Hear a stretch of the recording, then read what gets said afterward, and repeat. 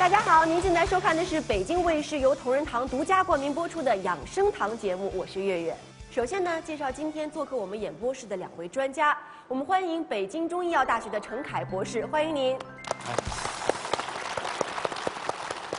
接下来呢，我们来欢迎的是王洪才教授，欢迎您。王洪才博士，中国中医科学院博士生导师，美国中医针灸师联合会高级顾问，城市针灸传承人之一。陈凯，医学博士，北京中医药大学硕士研究生导师，国医大师程新农嫡孙，城市针灸第四代传人。那么今天二位来呢，我来出题目，二位来比试一下。这个题目是关于一种疾病，可以说呢，这种疾病呢，目前呢，在中国有将近一亿的患者。第二点，这个病呢，目前呢，在全球的患病人数来说是排第一位的。所以我的问题来了，这是一种什么样的疾病呢？来，三二一，我知道我知道王老师抢答了。你说这个提这个题目太好了，啊这个疾病呢是非常时髦的一个病。很时髦的病，对，过去呢老年人得，现在呢年轻人也跟着得。我是刚刚知道了，我们现在国家的这个过去印度第一，现在我们排在第一了，很重要。到底什么病啊？我们都等着听答案呢。其实我也知道了，糖尿病呗。糖尿病，嗯，我上研究生时候的一个导师呢，跟陈老来关系非常好。嗯。呃，今年也九十多岁了，叫做郭成杰教授。当时呢，就是说我告诉他，我说我还想深造。呃，我们郭老师说，那你要选一个大家。我说选大家好。当时呢，我就想谁是大家了？他说你甭你甭想了啊，陈新农。那您对程老的第一印象是什么？我记得我上第一节课的时候呢，就学了一个字儿。就一个字。。对，这个字儿呢，我现在可以写给大家看看，看大家认识不认识。我们现场准备了这个笔墨纸砚，我们请王教授给我们写写哈。程老的第一节课写了什么？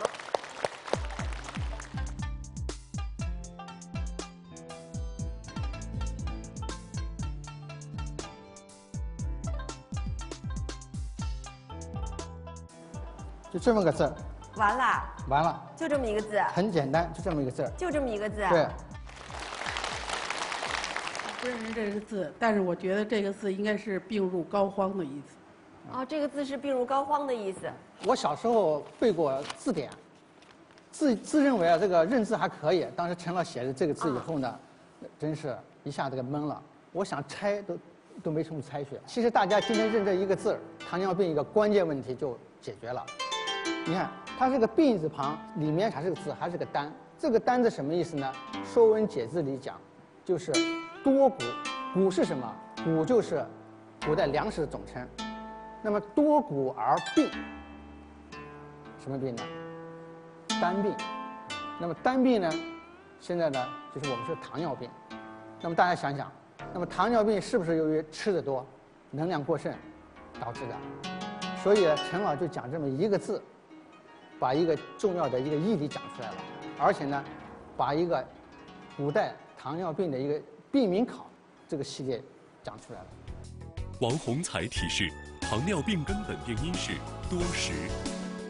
我经常听医生说，这个糖尿病是代谢疾病。其实，在中医当中的话，应该是五脏六腑共同协调作用之下，可能不太和谐，对会出现这样的问题。对你总结的特别对。是这样的哈。对，那其实这个王教授呢？古人也总结了。嗯，呃，这个问题呢，其实在很早以前呢，我们知道中国有个皇帝吧，皇帝很困惑，他说是，他说什么样的人容易得糖尿病呢？后来他就问他的一个大臣，这大臣呢也是一个著名的医生，这医生呢名字叫邵书，邵书呢就回答他了，叫五脏皆柔弱者善病消丹。皇帝就说了，就说我怎么能知道这个人五脏柔柔弱不柔弱呢？当时也没什么检查。当时呢，少书呢又回答皇帝一句，他说是，呃，夫柔弱者，其必刚强多怒。什么意思呢？就是说你看看着这个人啊，就是说这个，呃，性格比较刚强，爱发脾气，脾气不好的人啊，往往表现为的他这个内脏，他的里边是虚的，不实。历史上有很多的一些名人，嗯，他的得的病呢，都是与糖尿病有关系的。比如说呢，叫鸿门宴的时候呢，一个项羽的一个最大的一个大臣，叫做范增，他是那个项羽把他尊称亚父，亚父就是这种人。哦，亚父你看着就是很很很很强壮，但是呢，这个脾气呢很暴躁。以以鸿门宴大家都看过吧？嗯，鸿门宴，鸿门鸿门宴说是这个到了这个呃打到那个咸阳附近以后呢，呃亚父害怕将来刘邦跟项羽争夺天下，所以呢建议项羽把刘邦呢在这个宴会上杀掉。但是呢，这个项羽呢心软，没有杀，没有杀就没有杀呗，你回头再找机会杀也可以啊。但是呢，这个亚父就气愤的不得了，又是喊又是叫的，最后是把这个刘邦送给他的一个玉佩扔到地下，拿这个剑就给他劈成两半，就这么一个脾气。嗯，我们《史记》记载他呀，亚父范增呀，脾气就是经常发火。后来呢，得了一个什么病呢？叫做这个居发背而死。居发背而死。，对啊，没理解错的话，应该是背上生疮、对，生了个疮，溃烂。对，会感染。这个的，大家就是说，我们现在这个呃糖尿病呢，也就是经常会有一个常见并发症，就是有一个小脓包呀，这个小疮呀，你都要注意。这个我们有个成语呢，叫做这个养痈遗患，就不要养痈遗患，及早的去处理。嗯，据说糖尿病人如果是比如说有一些小小的创口的话，不太容易愈合，是这个意思吗？对对对比较容易感染哈。对对对。好，原来明白了。归根结底呢，这个五脏皆柔弱，其实是可以从一个人的脾气看出来的。我们经常会说，这个人外强中干，表面看起来哈，这个很很大的脾气或者是很强悍，但其实可能是脏腑之间并不和谐，可能是比较虚的一个表现。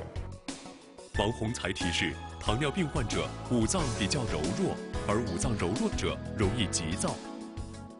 程老当时就提出他的一个经典的语录，嗯就强调这个治疗这个糖尿病的时候，如果出现了五脏都病的情况，比如你看到后面这句话叫“五脏若皆病，本已先后天”，五脏嘛，人人体的肝、心、脾、肺、肾，如果都出现了问题，怎么办呢？我们总得去找一个主要矛盾呢。为切入点。对，找到这个切入点在哪儿呢？就找它的先天和后天。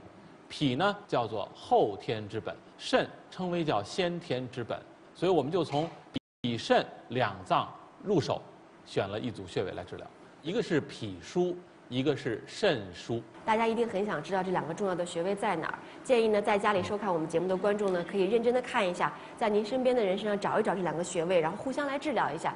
现场你就我来，来您来在我背上找一找首。先呢，这两个穴位都在膀胱经的这个都在人体的背部膀胱经的第一侧线上。我们怎么找第一侧线？就是让你自然自然直立的情况下哎，嗯上臂自然下垂。这时候我们可以摸到肩胛骨啊，你太太瘦了，这个很明显，穿着衣服都可以看到你的肩胛骨，在肩胛骨的内侧端这个位置，啊，从这个位置到你的后背部正中线，你的衣服穿的真好，后边还有一条缝儿，谢谢您的表扬。啊，这条缝儿接缝儿的位置正好是我们的督脉，就假装它是督脉吧。那么从肩胛骨的内侧端啊到督脉之间，这段距离啊，我们称为三寸，取它的一半儿的位置，再画一条纵线。所有的背书穴都在这条纵线上。嗯，那么我们在讲这个背书穴的时候，呃，以前我们都这么背啊，我可以给你背一背，啊，就是很多穴位：第一大柱二风门，三椎肺腧四厥阴，心五督六膈腧七，九肝池胆子细分，十一脾腧，十二胃，十三三焦，十四肾。我们先鼓掌啊，说的太好了。儿歌。有一个顺口溜出来了哈。啊下次您说慢点儿，然后您接着找找这个。对，所以这里在我们看到最后两句的时候提到了脾腧和肾腧。嗯那么脾呢是十一，就是人体的胸椎的第十一胸椎棘突下，旁开。刚才我们那个那条纵线上。那么肾腧呢是十四，也就是第二腰椎的棘突下。那么从十一到十到这个十四，大家可能都摸不出来，怎么办？有一个特别简单的方法可以找。哦我们吸气，哎，你直立吸气。嗯我们可以找到你的肋骨，就是我们身体的肋骨的下缘，在侧面身体肋骨的下缘。肋骨的下缘，大家找找看啊。对，你看直立的时候我们找，我用自己的手啊，这么用这个呃小指这一侧放在这儿，你看这儿都是硬的，到下边这儿变软了。哦吸气的时候，这个地方非常明显，有个骨棱，嗯这就是我们肋骨的侧面的下缘。嗯，从这儿画水平线，来，您在我身上这样看比较清楚。从这儿我们画水平，这是它的肋骨的下缘，画水平连线。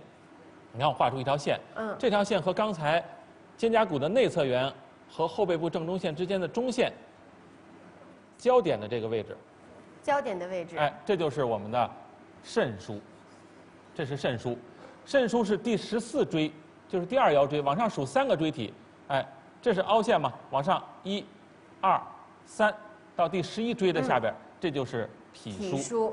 所以脾腧、肾腧这样相对。好，谢谢，谢谢，谢谢陈博士，谢谢。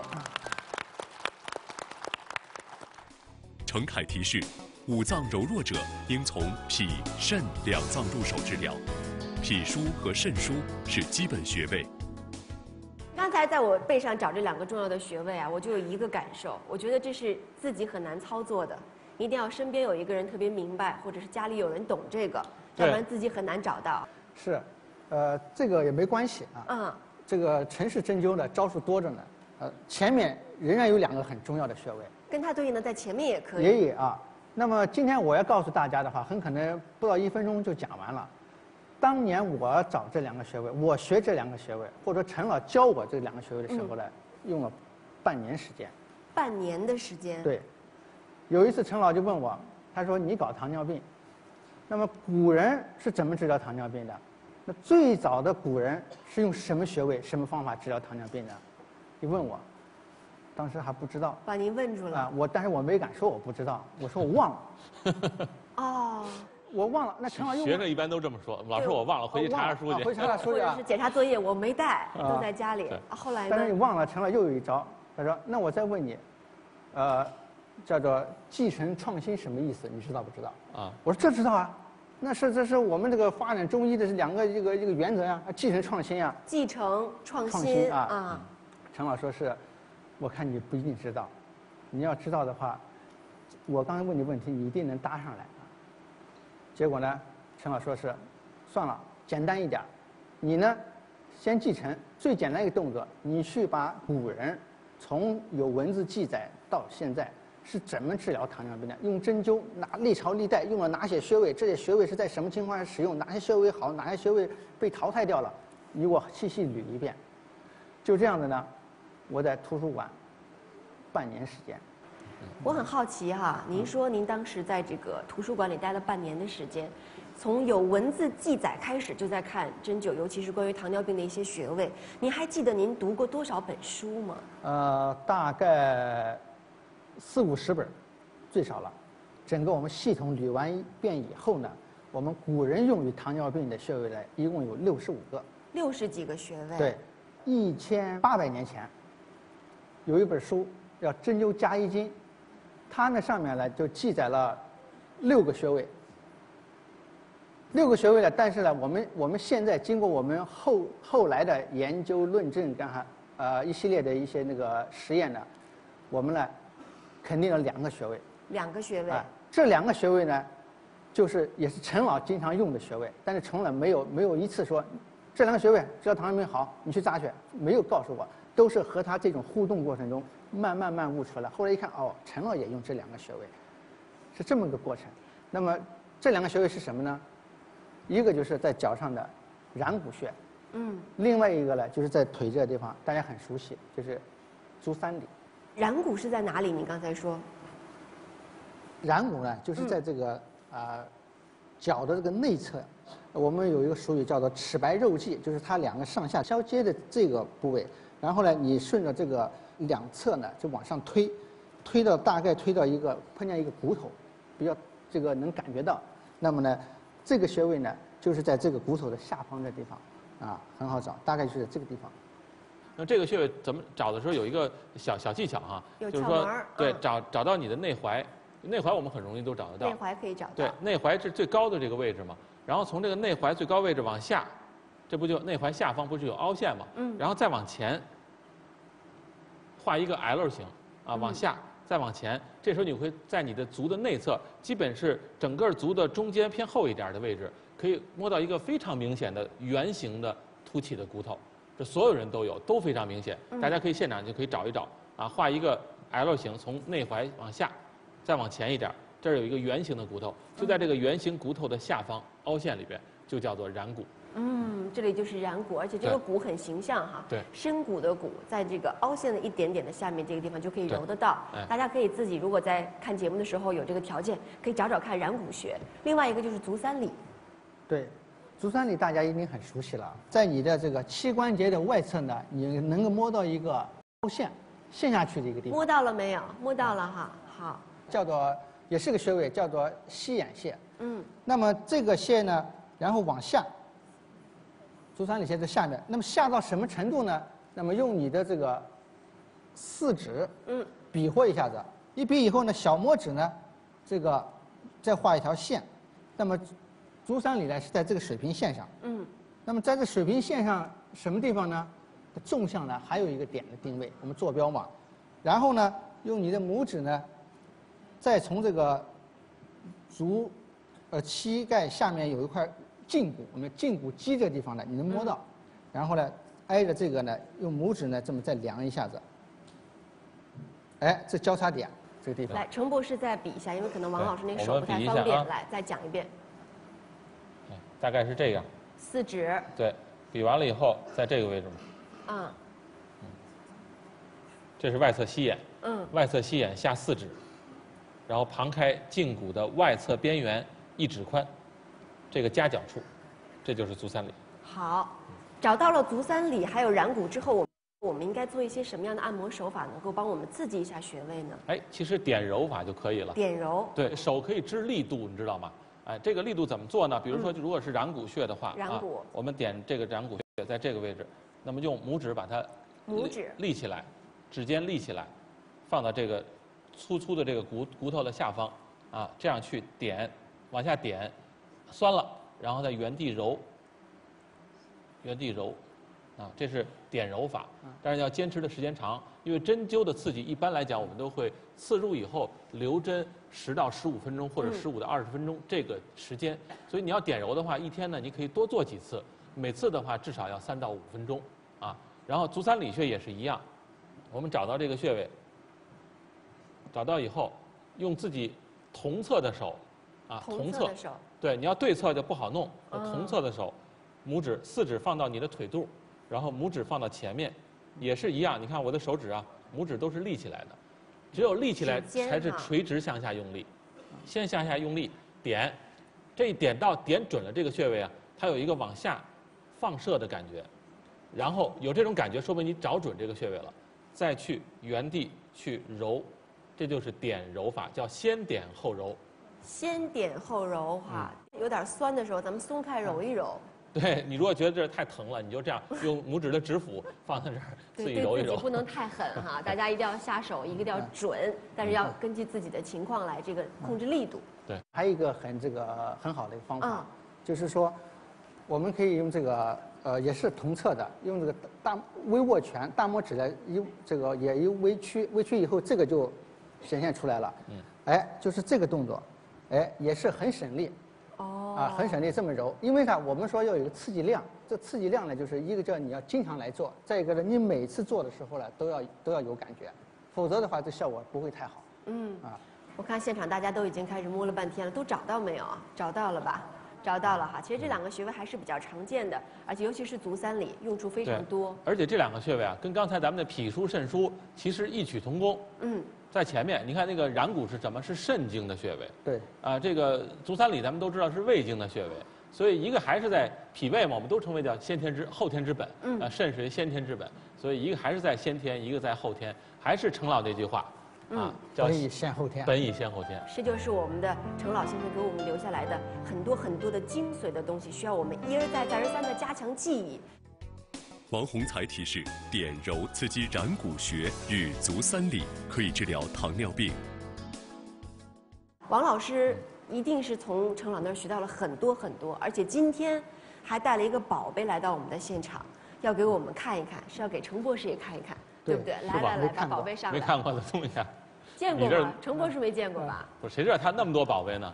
宝贝太多了，来这大家看这报纸哈、就有年头了，上面还写着“开拓者嚯，”，泛黄的报纸，连您这自己打开我都不敢碰我对韩老仰慕非常久，啊。但是呢，我拜陈老为师以后呢，我没有想到一个这么高高在上一个大院士啊，亲自我属虎，给我写了个虎字，激励我。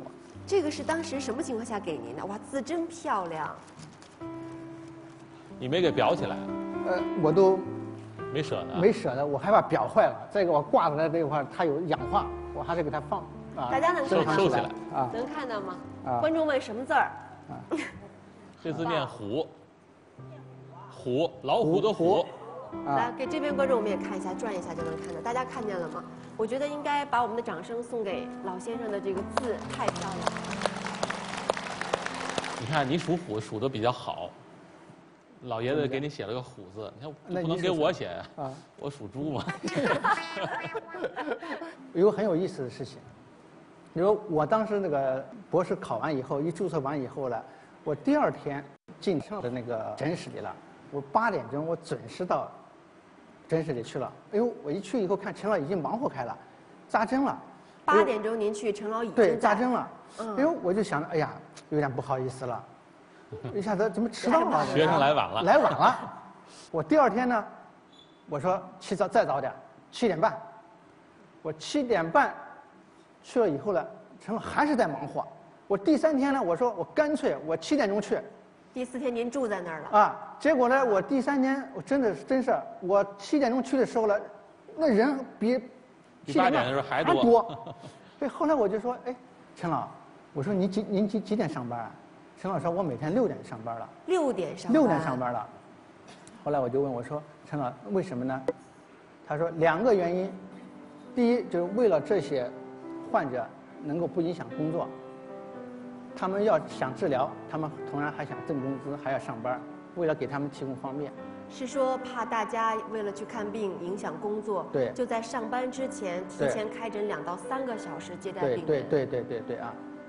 第二个原因呢，就是陈老呃过去是被下放过，不让他不让他扎针很多年，这个完了以后，七十年代中期这个落实政策回来以后呢，陈老呢就是为了把他过去失去的时间能够补回来，给自己定了一个规矩，就是要比别人工作多，要早上班晚下班，这两个原因。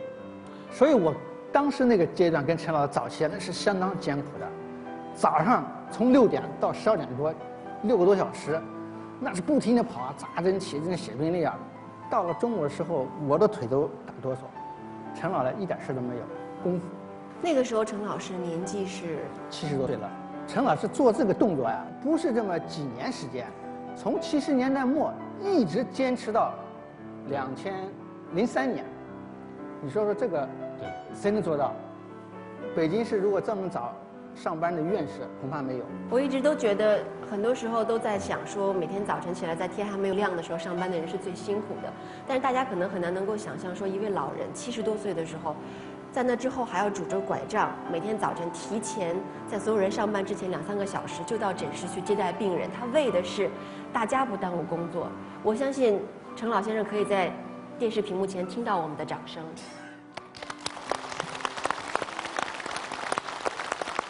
那其实我还听说，这个糖尿病的病人呢有一种饥饿感，他会随时随地觉得很饿，想要补充能量，但是多谷就容易得这样的病。所以有没有什么穴位可以控制糖尿病人觉得会饥饿的这件事儿呢？啊，今天教给大家一个方法，还是在脚上，还是胃胃经上的一个穴位，啊，就是在这个脚拇指第二和这个第三个脚拇指的结合这个部位，缝隙的这么这个部位，然后呢有一个穴叫做内庭穴，内庭穴，就是如果你有那些症状的话，你就经常来刺激这个穴位。啊大家看，就脚趾的二三脚趾中间的那个缝的顶端的位置，有一个穴位叫内庭穴，是说按压这儿可以减缓这个饥饿感。对，也可以，就是说，我们说这个中医讲饥饿感，就是因为胃火太旺嘛，胃火太旺了，那这个属胃经的一个穴位。那么这个穴位呢，就是按经常按压呢，通过它的泻它的胃火，来达到缓解饥饿感，也可以控制你的饮食。泻胃火，控制饥饿感，调节饮食。看来这个穴位是一个多功能型的穴位啊哈。对如果说我们平时的时候，如果觉得稍微有点饿了，又想控制体重，我是不是可以到洗手间把袜子脱了，摁一摁内庭穴？对，这个内庭啊，这个咱们大家不是记这个穴位，说嗯它可以治疗这种饥饿感嘛，嗯控制食欲嘛。那么这个穴位从它的名字上我们就能记得住，内庭内庭，内就是入的意思，往里入的意思，庭呢就是我们的这个呃到你正这个卧房之前的那个庭院，也就是说我们整个的消化道入口的地方叫庭啊，所以你想这个位置是管的是我们饮食进来的那个位置的病，所以你想饮食进来在哪儿啊？在嘴，所以脚上的这个穴位就管我们嘴上的病，就是你吃东西，比如觉得这太太想吃了，食欲太旺盛了，或者是有这种口气很重啊，胃火很盛，包括那个口齿的这种牙齿疼痛、红肿疼痛，都可以用这个内庭啊，它是治疗这种胃火炙热引起的这样的消化道入口这个位置的病症。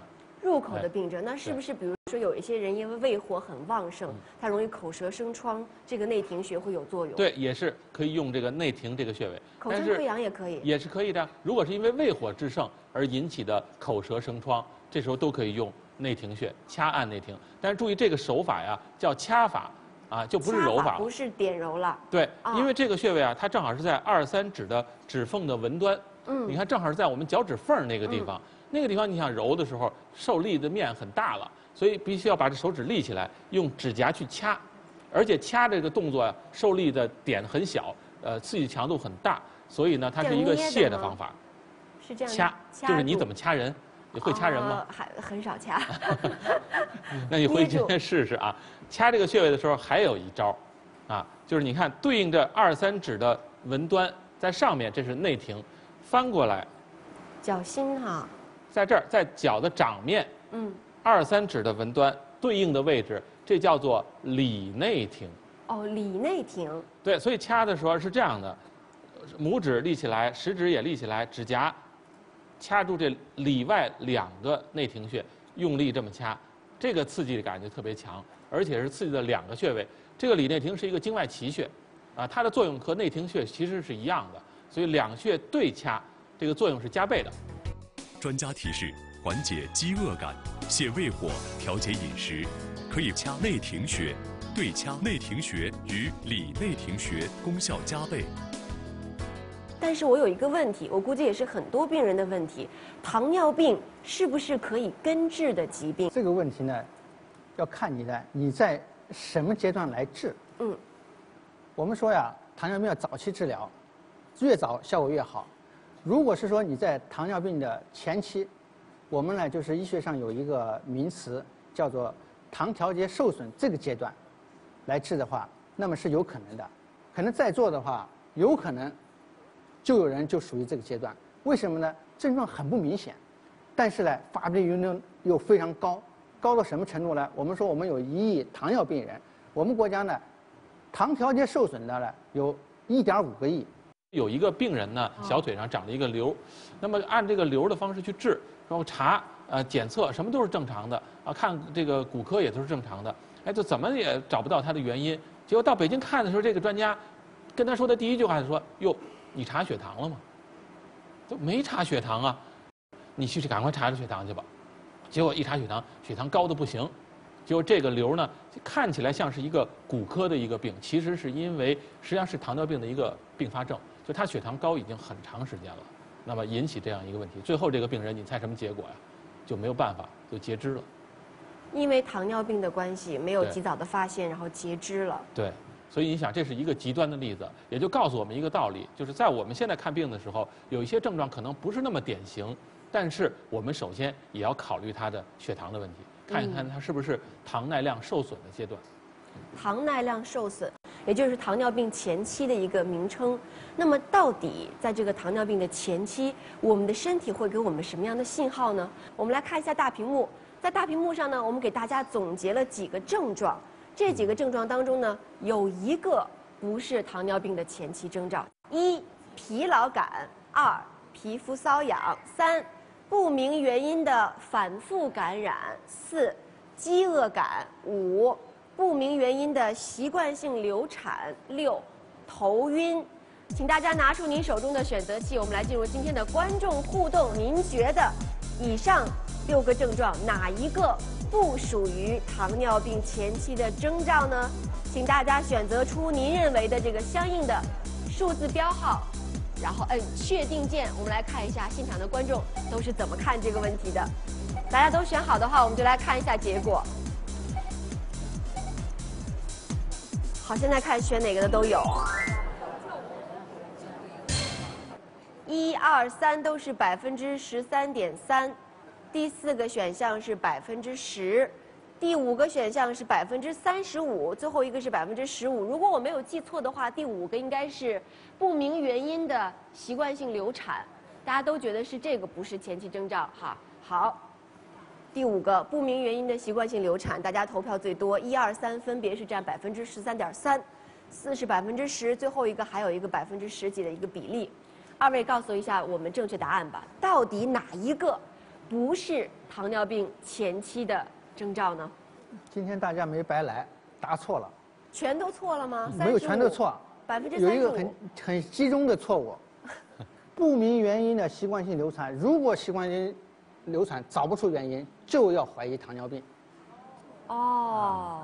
所以呢，这六个答案呢，实际上就是特异性比较强的呢，实际上是头晕。剩下那些的话，就是说你就要高度去重视。当然，糖尿病呢到了一定阶段，它也会引起头晕。但是作为早期来讲的话，这六个比呢，前五个都是它的一个早期的一些信号。不知道电视机前的您答对没有哈？一二三四五都属于糖尿病前期的症状，六呢，严格意义上来说呢，它可能不算是前期特别明显的征兆。也就是说，这里面其实我们最应该选择的是第六个，正确答案是六。不是糖尿病前期的征兆。专家提示：如出现糖尿病早期主要症状，应立刻检查，早发现早治疗。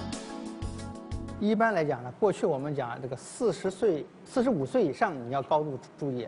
那么现在呢，糖尿病的这个发病呢要有年轻化趋势。嗯。所以呢，一般来讲，四十岁以上你就应该从年龄上来讲，你就要关注你的糖尿病的问题。另外来讲，是不是家族病史有一定的影响呢？对，呃，糖尿病的这个家族这个病史，它的遗传呢还是比较明显的，特别是一些这二型。呃，另外呢，除了这个年龄和他的这家族史以外，这个生活方式这个习惯啊，它也会带来很多这个高发人群的这么一个表现。嗯。你比如呢，是呃不爱运动，呃生活呢这个饮食呢这个不规律。呃，吃的呢是随便吃，特别是过食，尤其呢是那个三白食品，就是精加工的食品。白米、白面，像这些精加工的东西呢，它口感都特别好，嗯，人们都爱吃，一吃就多，多了以后就是那个担子，多骨耳耳病。另外呢，还有就是说，呃，压力问题、情绪问题，就是我们刚才讲的那个范增的故事，就是你这个脾气不好，你经常这个爱发火，这些呢也是属于我们这个容易患糖尿病的一个因素。那么另外呢，对于产妇来讲，就是说你生产过这个比较大的胎儿，像四公斤以上，那么据统计呢，就是说这一类的这个呃产妇呢，到了这个呃中年以后，容易得糖尿病，或者说你得糖尿病的风险呢，就比一般人要高一点。还有一种呢，胚胎期，呃，或者是在一岁以前，你这个阶段呢，就说你营养这个跟不上，营养不良的这一类人呢。到了中老年呢，也容易诱发糖尿病，也容易得。你像我们国家现在是五十岁左右是高发吧，那么五十岁左右的人呢，实际上我们回过去了，实际上刚好是赶上我们那个他小时候呢是困难时期。我想问一下二位，这八项里面占一半的，是不是要特别注意啊？呃，其实有时候一项也也会得，一项也会得啊。就是说一项呢，你也要注意，就是说这里头八项来，你的这个你占的越多，你的风险系数就越大。嗯，这么个概念。专家提示：糖尿病高发人群应多运动，注意饮食，调节情绪。比如说，糖尿病人是应该可以通过饮食方面有很大的改善。那王教授给我们介绍一个吧，什么东西对糖尿病人最有帮助呢？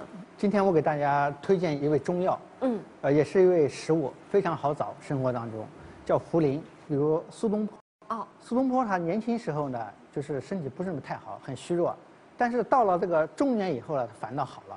这里头奥秘呢，还是茯苓起的作用。他也吃茯苓。对对对对，还有我们熟悉的慈禧太后。慈禧太后呢，那么它这个膳食里头呢，茯苓也是占了大量的，呃，起了大量的作用。嗯。那么有个统计啊，就是呃，慈禧的一种保健那个膳食里头呢，涉及的中药的呢有六十四味，但是茯苓呢这位呢使用率频率最高，它达到了百分之七十八。这味中药它有个特点，它既可以补也可以泻。它补补什么地方呢？补脾，脾气虚，补脾的。我们刚才讲那个，我们陈老这治糖尿病一个关键的脏就是脾虚脾。那么呢，茯苓这个学呃这味药呢，可以很好的补它的脾气。另外呢，这个茯苓呢，它有泻的作用。泻什么呢？它泻人体里的湿气。大家都知道，这个湿气呢，现在人特别多，嗯，特别又吃完油腻了或者不运动啊，体内很容易产生这个湿气。那么茯苓呢，可以来泻它的湿气。那饮食方面，茯苓跟什么搭配比较好呢？啊，其实茯苓可以跟很多的那个食物，嗯，来做粥啊、做菜呀、做汤啊都可以，啊，那么入药也可以，入食物其实也可以。那现在我们有一个研究表明啊，就是鳝鱼。鳝鱼呢，它里边含有一些这种呃类这个胰岛素的成分，所以有这个降糖的作用。所以今天我们就介绍这个呃方子哈，咱们把这个茯苓和鳝鱼放在一块儿，做成一个菜给大家尝一尝。那么究竟这个茯苓和鳝鱼会烹调出怎么样的健康好味道呢？现在呢，请大家跟随我们的赵老师还有依林进入今天的养生厨房。张老师，刚才两位专家呢给咱们推荐了茯苓和鳝鱼。嗯，您说这道养生菜怎么做才能特别好吃，还有营养？我专门啊为这个鳝鱼啊做了一道菜，叫做金龙戏猪。哟，这名字真够好听的。哎，用它的啊，这是您准备好的这个鳝鱼。对对对对，这上面黏糊糊的，这个粘液怎么去除？可以用这个碱和盐啊洗一洗，揉一揉就可以了。这个咱们一般在家是不是切成段儿就行啊？这个切段切丝。都可以，我看您这个洗完了之后还是粘液挺大的。是这个黄鳝呢，跟其他鱼不一样，你洗呢它还是要有一些个粘液。嗯。但是切的时候，这时候就有一个小窍门了。如果我们要现在这样的去切的话，假如说也也没去考虑那么多啊，拿起来就切，你看它就很滑，容易切到手。对呀。啊。如果说我们这个翻个个儿，用这边做这个底面，哎，它就很好了，是不是？没错。所以说有的时候这个小窍门自己也能想得出来。这黄鳝呢，其实在人体当中啊，这个是非常有营养，比其他的鱼呢要要要营养要大。嗯，尤其它这个含铁啊，含这些个钙磷脂呢，它是比其他鱼都多。然后这个人脑啊，我知道钙磷脂嘛，实际任何鱼都是补脑的。但是它呢，就比其他鱼呢要补脑的更效功效又好一些。含磷脂的含量对，要不怎么中医专家怎么推荐我们做这个黄鳝呢？怎么不介绍其他的鱼呢？赵老师，咱不能光准备这鱼啊，这还有茯苓呢。您这个泡好的，这之前是要提前多长时间泡？这个呢，实际要你要是自己要有计划的吃这个茯苓的东西菜品的时候呢，实际头一天就给它泡上，泡的时间越长越好。这个没有具体的用热水泡吗？啊，用热温水。温水泡完之后还要煮吗？呃。最后用的时候再煮一下，咱们去腥，给它呢腌制一下。首先呢，我们拿一块葱，哦，放点葱，哎，好，哎，再放点姜片对，然后呢，我们这时候放料酒、醋，这是鲜汁醋，搁一勺一勺醋，嗯，然后再搁一勺料酒。如果你为了让它去腥呢，料酒就多搁一点也可以，没有关系。哦，咱们给拌一下啊。咱们腌着的时候呢，这时候我们就可以起锅了。起锅。还有 油呢，一个是呢，让它给这个鱼呢定型，嗯，它有鱼皮啊什么的定型。第二个呢，做八分熟。鳝鱼呢，如果要是这个不熟着吃的话，容易造成腹泻。油已经热了。热了，咱好，咱们开始滑。这个递给您。哎，这个咱们要划到什么程度啊？就，呃，它打卷儿，呃，然后颜色发白，就可以了。呃，鳝鱼呢，挑那个越肥、肚子大一点的，然后颜色金黄色。要我们这个名字，我怎么起名叫金龙呢？戏中啊，就让有意识是让大家知道这个黄鳝呢是金色的、金黄色的。已经打卷变白了，是不是可以出锅了？这就可以了。留一点底油。好，这时候油热了以后，把葱、姜、蒜片进去煸炒。好，这时候香气之后，哎，我们这时候就可以把它下黄鳝了。下黄鳝。好，这时候我们加料酒，加一勺料酒。这时候还要加料酒。对，然后加醋。嗯。这时候就可以把茯苓水倒进去了。哦，您看好了，我们只只取茯苓的水。对。是吧？茯苓的水倒进去，它的药效已经融入到这个菜当中了。对，烧一会儿，烧的时呢时候呢，这时候我们可以加盐，然后再加一点胡椒，我们在锅里让它炖一会儿，啊，用大火把这个茯苓这个汁儿啊，充分的靠到这个黄鳝里边去，把汁儿收的几乎都快没有了，这个这个茯苓的水都收进去了。我们这时候这个鳝鱼就算烧好了。这时候呢，我估计这个汁儿快收好了，我们在最后呢，加一点点的鸡粉、鸡精都可以。这个汁儿已经收干净了，快收干了，把这个茯苓和鳝鱼完美的结合起来。完美的结合在一块 啊，这个呢，鳝鱼我们就烧好了。金龙戏珠做好了，我可以这样理解吗？这个金龙是这个黄鳝，戏珠呢，咱们就戏的是这个茯苓。这么好吃的菜，您得试试啊！而且啊，我们这里的养生价值不打折扣。金龙戏珠主要食材：鳝鱼五百克，茯苓三十克。把鳝鱼用盐水或碱水洗净，切段儿，腌制待用。茯苓提前泡水或煮水。鳝鱼过油定型，打卷儿变白即可出锅。葱姜爆锅，加入鳝鱼煸炒，加入料酒、醋。茯苓水、盐、鸡精，收汁儿出锅。